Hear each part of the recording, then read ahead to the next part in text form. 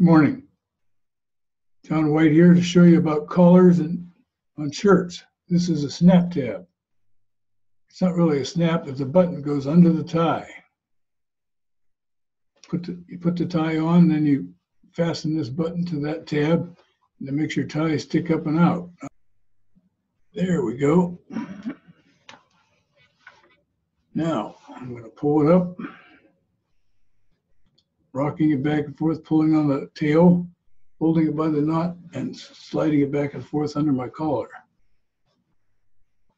What that does is make sure it's not sticking out in the back. You always look like a hick if your tie is sticking out from under your collar in the back. Now we're gonna try to button this little tab under the collar to make it stand up and out like a a erect phallic symbol. I can hear it. It's objecting, but there it goes. Okay, now we have a nice Windsor knot. And we have some dimples and we want to make the tie spread out a little bit at the top like that, but we want it to be even on both sides. It's too much on this side. Pull that over that way a little bit, fuss with it.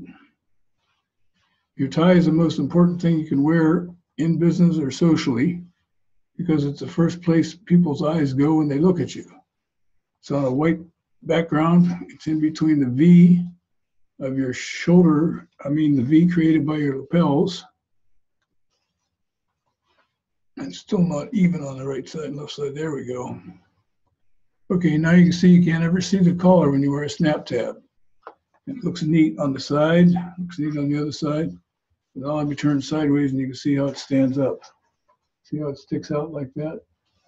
That's what we're looking for. You can do that with a pin collar too if you get it tight enough.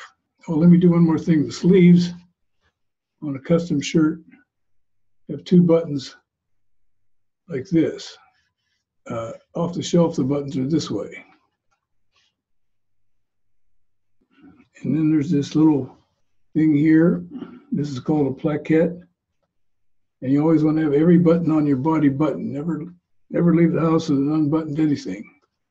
You look sloppy and careless. That's a big deal in big companies. Everybody looks at everybody criticizing in their head if they don't criticize in person. There we go. Okay.